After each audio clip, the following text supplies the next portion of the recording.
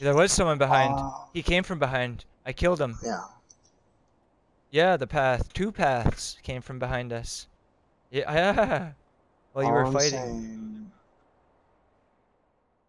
Okay. Hurry up. There were no, the two paths were fighting from behind us. Yeah, you you were shooting. You did good. Good job, boys. That was a fucking huge res though. Huge res.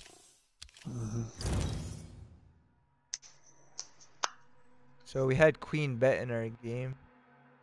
I want to try to find out who that was. In that microdosing motherfucker.